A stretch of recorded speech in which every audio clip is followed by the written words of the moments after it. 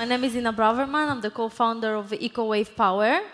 I want to start with a non-traditional question. How many of you ever visited inside of a wave energy power station?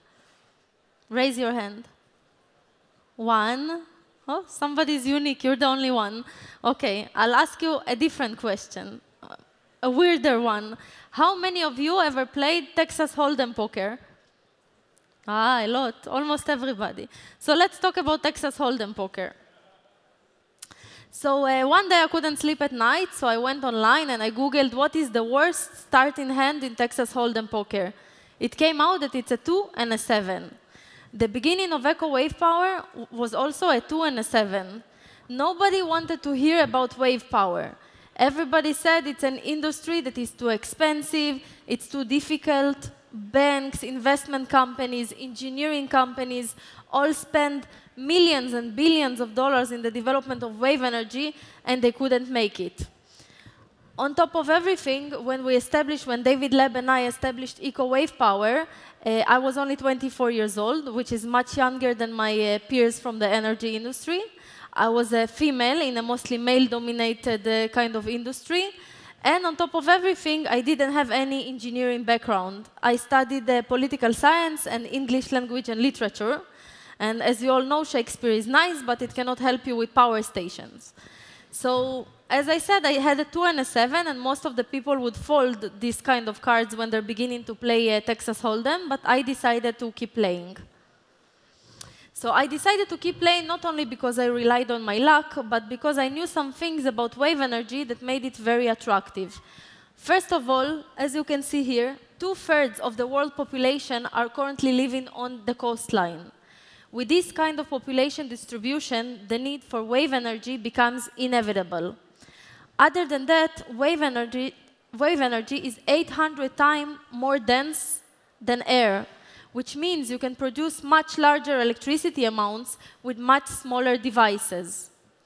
On top of everything, as opposed to other renewable energy sources that we all know, like wind and solar, wave energy does not die at night. It can work around the clock. In solar, if there's cloud coverage, if there's pollution, or even if the night comes, you cannot produce any electricity. So how does our technology works? Basically, we designed uniquely shaped floaters that go up and down with the movement of the waves. They press the hydro cylinders, which sends biodegradable oil into land-located accumulators. The pressure that builds up in the accumulators is used to turn a hydro motor, which is turning a generator, and sending clean electricity to the grid. Only 10% of the cost of our system is in the water, whereas 90% is on land, just like a regular power station the technology that we develop, what is unique in it is that it's cost efficient. It, and it's so cost efficient because 90%, as I said, is on land, so you don't need specialized equipment uh, to be used in the sea.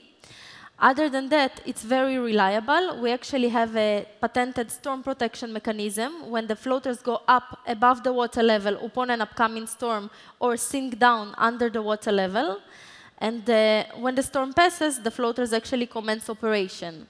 Our system is the first wave energy system in the world that received 100% insurance, both in Israel and in Gibraltar, where we have our commercial scale power stations. And it's fully environmentally friendly, as opposed to other wave energy uh, power stations that received a lot of criticism for creating new presence by connecting to the ocean floor. Our system is only connecting to breakwaters, ports, marinas, and other types of existing structures. So what have we did so far? We actually started with a wave pool testing in the Hydromechanical Institute in Kiev, in Kiev, which was a very small system that is meant to test different floater shapes. Then we enlarged it to a larger scale power station of 10 kilowatts, which can provide electricity to about 10 households. And the latest power station that we opened, the first commercial one, is the one in Gibraltar of 100 kilowatts, which is 100 households, which will be expanded to 5 megawatts. 5 megawatts are 15% of all Gibraltar's electricity needs. We also received European Union regional funding for this development. At the moment, EcoWave Power, due to its progress, already holds 130 megawatts of projects in its pipeline, including in Mexico, Chile, China, India, Israel, and other locations. So I think that with the information that I told you about the market potential and about the simplicity of our technology, we started with poker, and at this point, I think we already have at least two pairs. We, have, we started with the 2 and a 7, now we have two pairs of 2 and a 7. Now, if the last card, if the river will open to be a 7, then we can have a full house.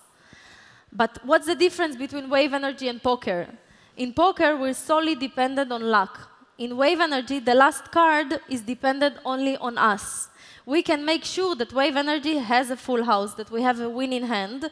So I'm here to tell you to support wave energy, to study wave energy, to invest in wave energy in order to make a good future for it. Wave energy is definitely worth your attention because actually, according to the World Energy Council, wave energy can produce twice the amount of electricity that the world produces now, which is a huge amount. And I would like to uh, finish my speech with a personal story. Actually, my passion with wave energy is not only from the size of the industry, it's not only because we have an amazing technology, it's not only because I know many things that other people knew before me. Actually, I was uh, born in 1986 in Ukraine, and two weeks after I was born, the Chernobyl nuclear reactor exploded. I'm sure some of you know about this disaster. It was the biggest nuclear disaster in mankind in, in terms of cost and casualties. And 95% of the newborn babies after the Chernobyl explosion were actually born with different types uh, of illnesses. And I was one of these babies. Actually, upon the explosion, I had respiratory arrest. I stopped breathing, and I suffered from a clinical death. Luckily, my mom, which was a nurse, approached my crib on time, and she gave me mouth-to-mouth -mouth resuscitation, and by doing so, saved my life. So I was a lucky baby, but others weren't as lucky as I was, and I got a second chance in life, so I'm definitely here to to take it into good use. I want to do something good for the world and to develop wave energy, which will help our next generations. Thank you.